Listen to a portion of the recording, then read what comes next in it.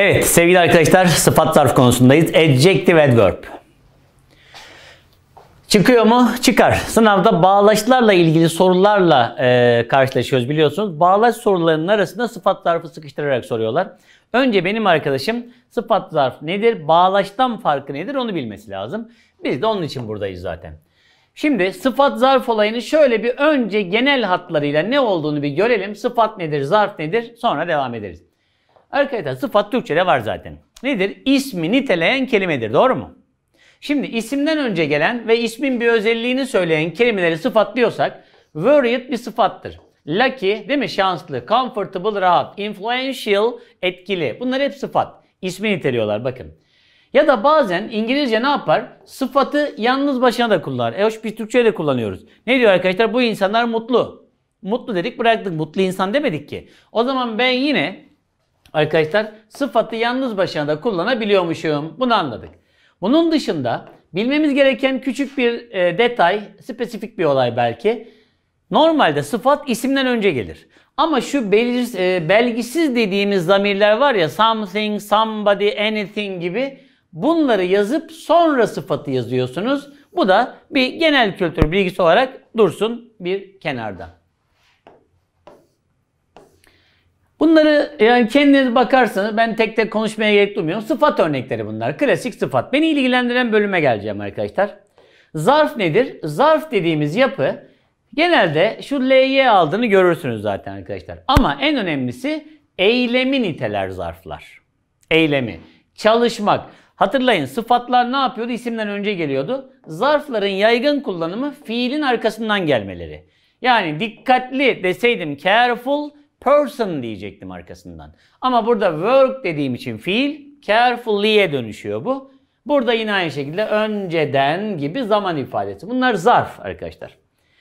Bazen şöyle de gelebilir zarf dediğimiz ifade. Zarf sıfattan önce de gelir arkadaşlar. İlk Türkçe'de böyle değil mi? Zarf nedir dediğimde ya fiili niteleyen ya da sıfatı niteleyen kelimedir zarf. Aynı şey İngilizce'de var. Buyurun. Ben known ifadesini, known artist ne demek? Bilinen sanatçılar. E sıfat isterseniz fiil alın fark etmez. Alın size zarf. Hocam well zarf mı? Arkadaşlar good iyi ya. Goodly demiyoruz ona. Well diyoruz. Tamam Zarf versiyonu. Devam ettik. Bir de şu var mesela hard. Hard, hardly olduğunda anlamı değişiyor. Hard'ın zarf hali hardy değil arkadaşlar. Hardly hemen hemen hiç anlamına gelir. Hard sıkı ya da zor anlamlarında ister sıfat ister zarf aynı şekilde kullanılıyor. Bakın çalışmak. Sıkı çalışmak derken hardly demiyorum arkadaşlar. Hardly dersem durum e, anlam bambaşka oluyor. Bilginiz olsun. Dedik şimdi gelelim beni ilgilendiren daha doğrusu sizi ilgilendiren yapılara. Bunlar sınavlarımızda şu gördükleriniz sıfat zarf başlığı altında sorulan yapılar. Bunları bilirsek, bu konulara hakim olursak sıfat zarfla ilgili sorular kolay olacaktır. Göreceksiniz. Şimdi bunları tek tek burada 10-11 tane yazmışım burada. Konuşmaya başlayalım. Bunları ne olduğunu bir anlayalım arkadaşlar. Şöyle bir alalım. Bunlardan birincisi neymiş? More than. Arkadaşlar more than yapısında terazinin iki kefesi gibi hayal edin bunu. Burada bir e, ağırlık koyuyorsunuz. Buraya başka bir ağırlık koyuyorsunuz. Bakın benzer şeylerden bahsediyorum. Ağırlık dedik. Ne yaptık? İkisini kıyaslıyorsunuz. Biri birinden daha ya da biri birinden daha az diyorsunuz. Mantık bu. O yüzden de biz more than yapılarında cümlenin bu tarafıyla yani eylemin bu tarafıyla bu tarafı arasında kıyaslayabileceğimiz şeyler arıyoruz aslında temelde. Tamam. Ama daha önce şunu anlayalım. Hocam biz bunu daha anlamını biliyorsunuz bu daha demek. Şundan daha. Peki daha anlamını ben verirken hep more mu kullanıyorum? Ona bakalım. Arkadaşlar bakın more comfortable daha. More difficult daha. Yine more. Bunlar hep daha demek. Ama hep daha ile yapmamışım. Alta geldik. Bakın ne olmuş? Easier değil mi? Arkadaşlar er gelmiş. Ne gelmiş? Er. Ne gelmiş? Bu. Aslında buradaki olay şu. Bu da genel kültür. Yani size sınavda hadi bunu er mi mor mu demeyecekler zaten. Arkadaşlar şu. Hece sayısıyla ve kelimenin verilen sıfatın uzunluğuyla ilgili bir olay. Genelde hani iki heceden fazla olanlar diye ifade edilir de Türk öğrencilere genelde hece Nasıl ayırıyoruz ya İngilizceyi nasıl heceliyoruz ne bileyim ben kaç hece olduğunu diye takılıyorlar. Arkadaşlar buna göz kararı bakın. En azından genelde biz 5 harften sonrasında çoğunlukla ne yapıyoruz arkadaşlar? İstisnaları saymazsanız mor kullanıyoruz. Ya zaten bu uzun daha da uzatıp sonuna er getirmeyelim diyoruz.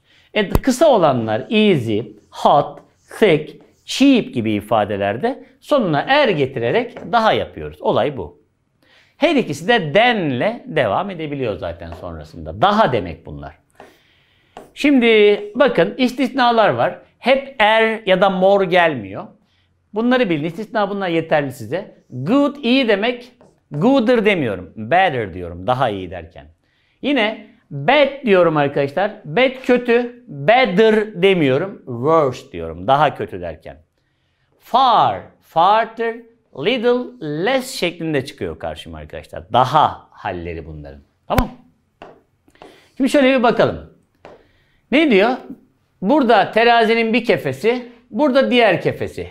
Dünkü sınavlar, bugünkü sınavlar. Bakın more than olmuş. Ne diyor? Dünküler bugünkülerden daha kolaydı. Geldik buraya. Burada kirlilik var, burada fakirlik var. Terazinin iki tarafı. Ne yaptık arkadaşlar? More than. Bununla bunu kıyasladım, daha dedim. Ya da geldik buraya. More'u kullandık arkadaşlar. Burada araba yolculuklarından bahsediyoruz. Burada diğer. ikisini kıyasladım ve bu yolculuklar daha rahat dedim. Değil mi arkadaşlar? Daha rahat ne? Yolculuk yapıyor ifade. Hocam niye L'ye geldi? Bunu niteliyorsunuz çünkü eylemi. Tamam. Şimdi burada bilmeniz gereken nokta şu. Hocam bir sınavda bunu nasıl e, ne derler more olacağını anlayacağız cümlede. Kolay bir yol söyleyeceğim size. Den ifadesinden sonra verilen bölüme bakın. Bakın sınavda size şurayı ve şurayı boş bırakacaklar. Şurayı verecekler size. Ya da şunları boş bırakıp şurayı verecekler. Arkadaşlar denden sonraki bölüm yani boşluktan sonraki bölüm isimse ya da yarım cümle ise yarım cümle demek? Düşünün mesela the problem isimdir. Boşluktan sonra geldi. isim. Ha more'den gelir. The problem is dedi. Bu da yarım cümledir arkadaşlar. Eksik cümle. Bu da more yapısının beklediği özelliklerden biridir. Ama normal tam bir cümle yazarsanız artık more ölmeye başlar burada. Demek ki more yapılarında ya da erden de burası benim için belirleyici. Hoş tüm sıfat zarflarda burası belirleyici aslında. Ama hepsinin özelliği farklı. Bir isim istiyorsa biri cümle isteyecek göreceksiniz. More isim ya da yarım cümle alır dedik.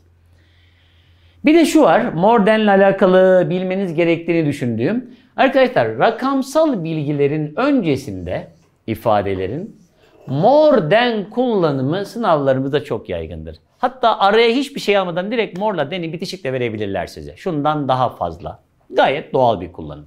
Aklınızda bulunsun.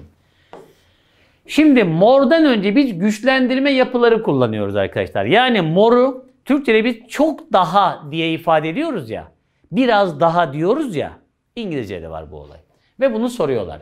Ben mor erden önce bir güçlendirme istediğimde şunları çok olarak kullanıyorum. Neyleri çok olarak kullanıyormuşum?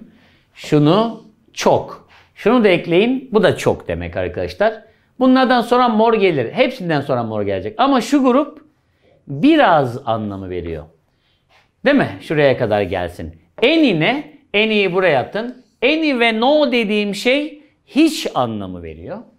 Arkadaşlar even ve very de bu grubun birbirine uymayan çok ya da hatta anlamları bile anlamlarına gelen more alabilen yapılar. Şimdi konuşalım örneklerimizi. Ne yapmışız burada? More vermişiz.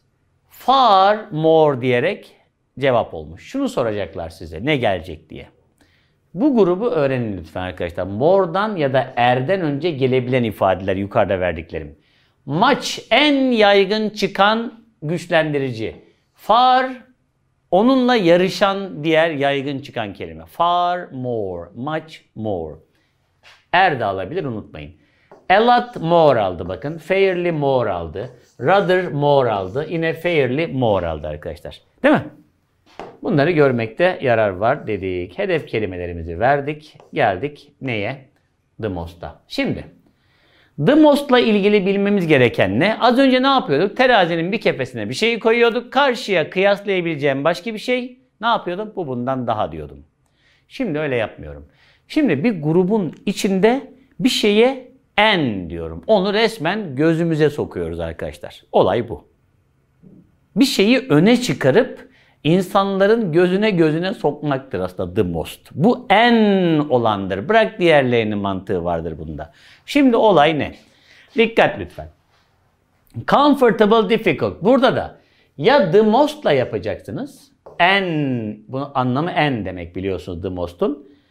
Yine en, en. Ya bununla yapacaksınız ya da şurada gördüğünüz gibi D'yı yine kullanıyorsunuz aynı şekilde. Est ile yapacaksınız arkadaşlar. O zaman ne oluyor bu? Demek ki bizim en anlamı vermemizin iki yolu var. Ya the most koyacağız kelimenin başına ya sonuna est getireceğiz. Mantık ne? Neye göre? Yine kelimenin uzunluğuyla alakalı bir olay bu. Az önceki durum. Tek hece, iki hece olanlar için kullandığımız yapılar. Yine çok heceli olanlar için yaptığımız, kullandığımız ifade. Anlam aynı. En demek yani. Bunların da ne yap ne var arkadaşlar? Düzensiz formlarını hatırlayın lütfen. İyi az önce daha iyi derken better olmuştu ya. Şimdi en iyi olarak the best diyoruz. Bad kötü müydü? Daha kötü ama the worst en kötü. Uzak, daha uzak, en uzak dedik. Şu uzağı az önce mordan önce kullandığım farla karıştırmayın. O başka, o güçlendirici. Çok anlamına geliyor. Little daha az demek less, en az derken the least diyoruz. Bunlar düzensiz karşımıza çıkacak en yapıları. Sevgili arkadaşlar, süperlatif yapılar aşağıda verdiğim e, ne derler örneklerde çok sık çıkar karşıma. Önce şunu bir anlayalım. Bakın dil diyor benim için en ilginç konudur. Yine ülkedeki en acil problem şudur. Yine dünyadaki en derin göl Rusya'daki Baykal Gölü'dür filan filan. Bakın en ifadesi bunlar. Peki süperlatif yapıları sınavlarda nasıl soruyorlar? En başta of sonrası kullanımlara bayılır süperlatif arkadaşlar. Bayılmak dediğim şey ne? Buyurun. One of the most effective yani en etkili ilaçlardan biri. In ve of'a özellikle. Dünyadaki en, Türkiye'deki en derken de in'i kullanıyoruz mesela. Böyle süperlatif kullanımları yaygın. Of'u başta verebilirler. Başta verilen of bile olsa virgülden sonra bir süperlatif beklentisi olmalı. Tamam mı arkadaşlar? Yarım cümle sorusu olarak görebilirsiniz bunu. Süperlatif ya da bazen only de diyebiliyorlar bu sorulara. Ever'la kullanılır süperlatifler. Çok yaygındır yine. Ne diyor? Bakın yine of'tan dolayı da düşünebilirsiniz bunu. Ama şuradaki de benim için önemli. Ne diyorum? Şimdiye kadar ziyaret ettiğim en heyecan verici yer dedik. Değil mi? Ya da devam ediyorum. O zamana kadar izlediğim en iyi film. Süperlatif görüyor musunuz? Ever. Ya da ne diyor arkadaşlar? Şimdiye kadar sahip olduğun en iyi araba. The best ifadesi.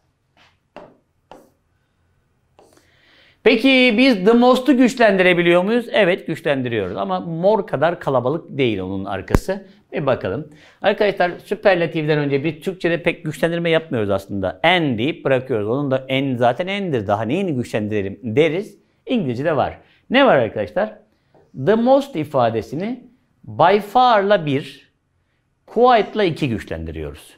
Az önce far vardı morda. Süperlatifde by far var. Quite dediğimiz şey ne? Quite da normalde oldukça anlamına gelen bir kelime. Arkadaşlar rather da mesela oldukçadır. Rather'ı more'la kullanıyorum ama quite'ı the most'la kullanıyorum. Bunlar net. Veri more'da da görüyoruz, burada da görüyoruz arkadaşlar veriyi. Veriyi. O yüzden iki tarafa da çalışabilir. Aklınızda bulunsun. E anlamı ne hocam? Valla anlam derseniz arkadaşlar açık ara gibi bir anlam verebilirsiniz. Mesela ne diyor? By far the most effective. Açık ara en etkilisi. Bazen gelmiş geçmiş en de diyebiliyorsunuz. Olabilir. Yani by far'ın aslında çevirisinden çok nereye geldiği önemli. Süperlatifler şunları alır diye bilmeniz benim için yeterli burada. Tamam mıyız arkadaşlar? Diyelim as as so as olayını diğer videoda konuşalım.